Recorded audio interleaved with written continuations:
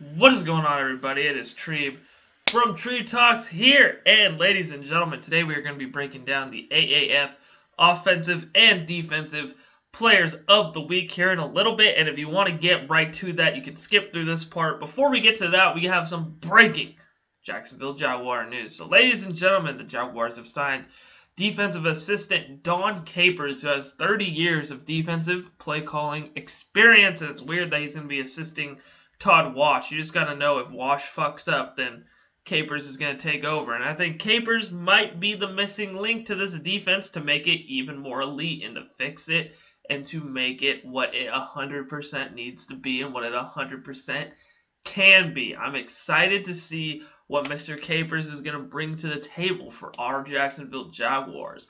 I think he'll be good in, a good influence on guys like Yannick Ngakoue, Jalen Ramsey, all of our young guys, Myles Jack as well, just to see how they will uh, perform now with a really, really, really good veteran of the defensive game in Don Capers. It's going to be interesting. Now, ladies and gentlemen, let's get into the AAF offensive and defensive players of the week. Hit that intro. One to go up top, dumps it off across the middle. Fournette.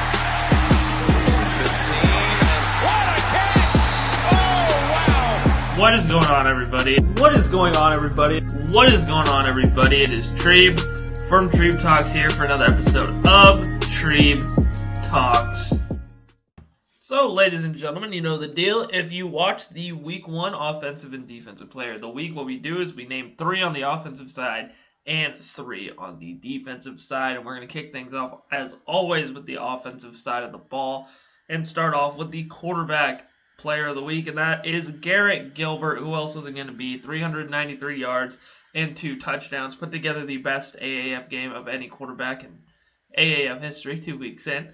But, you know, he went out, he balled out. He had a good completion percentage as well. He had 67 uh, percent completion percentage. He was slinging the ball down the field all day. Had a really reliable wide receiver in uh, Charles Johnson, a man that we will, trust me, get to in a little bit. Um, but Gilbert was finding the open man. He was making all the throws he needed to down the field, and his completion percentage, like I said, was on point, and he is leading currently the best team in the alliance at the quarterback position, and he is definitely chasing a job in the NFL because he is balling out and playing really, really good football. And speaking of the man himself, we're talking wide receiver MVP.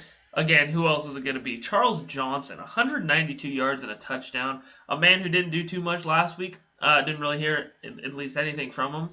Uh, not really explosive, but this week comes out and he has one hell of an explosive game with 192 yards and a touchdown.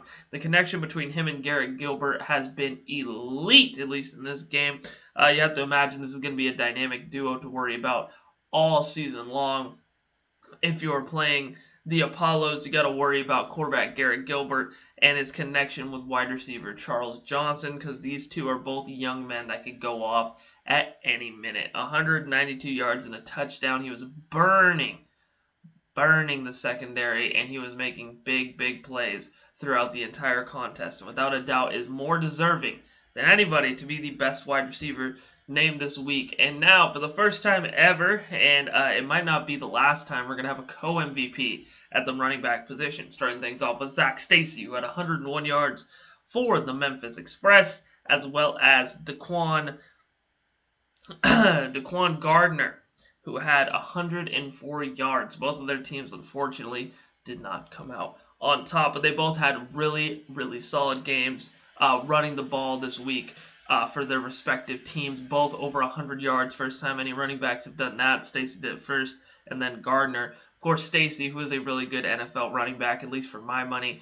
uh, didn't really get another opportunity. He was part of the whole Jeff Fisher organization and the Rams, and you know, if you're a part of that, you're basically blackballed in the NFL. And I think this is what uh, Stacy's doing is he's trying to get another chance uh, for the big money in the NFL. Um, especially if he keeps playing like this and he keeps putting the pedal to the metal, he will definitely try and find himself another NFL job. Now, Daquan Mr. Gardner. Gardner, he had a good game, dude. He's quick. He's fun to watch. You know, once he picks a hole, he's down. He's accelerating. He's downhill. He's in the end zone. Both of these running backs had tremendous weeks, and I think it would have been impossible for me to pick either one, even though Gardner had three more rushing yards, and I guess that technically would make him better. But both of them had a great week this week, and they both deserve a co MVP at the running back position. So, congratulations to uh, Gardner as well as Zac Stacy for being the running backs of the week. Coming up now, we got the defensive players of the week, and for the defense, it was. Do- Come on, Kitty. Middle of the video, bro. Damn it, Kitty. Now, like I was saying, the defense was dominated by the defensive line this week. A lot of sacks happened, and a lot of players on the defensive line really showed their true talent. And that's one thing the NFL is looking for is really true great defensive linemen. I mean, talk to the Jacksonville Jaguars. That's really how they built their elite defenses uh, among pass rushers, you know, inside and outside. And all three of these guys are actually defensive linemen. All three of them have a chance to maybe go out and get an NFL contract. Starting things off with Jeremy Faulk. He had one sack and four tackles. Second in tackles uh, for the team. He had himself a day. He's one of those guys up the middle that's really hard to block. He's a bigger dude. Um, uh, all three of these guys actually are more uh, interior defensive linemen, which is you know kind of surprising. They're getting after the quarterback, and you know they're making a lot of tackles as well. You know, four tackles that's pretty impressive for a defensive tackle. Obviously, making sure that things stay inside and things that don't bounce out for a big gain on the uh, defensive side of the ball. Coming up next, we got Shakir Soto, who had 1.5 sacks and three tackles. Another guy who's an inside defensive tackle that has really been a menace um, as of late here in the AAF. He also was kind of in consideration last week to become uh, defensive player of the week. Last week, there's a lot of good linebackers that uh, actually balled out and played really well. And uh, he was about to make the list, but he unfortunately just missed out on it. But this week, he did not, and he will be making the list with the 1.5 sack, three tackle performance he had. And it's definitely good enough to end him up here on Defensive Player of the Week, getting him his first honor. Oh, what an awesome, awesome, awesome honor! Because Treeb Talks is all the AAF rankings that matter, power rankings and Players of the Week. I mind stealing when that matters. Um, coming up next, for the man that really dominated the most on the defensive line this week, and maybe overall defensively, we have Karter Schultz, six tackles, two sacks for the Salt Lake Stallions. This guy led the team in tackles and sacks this week.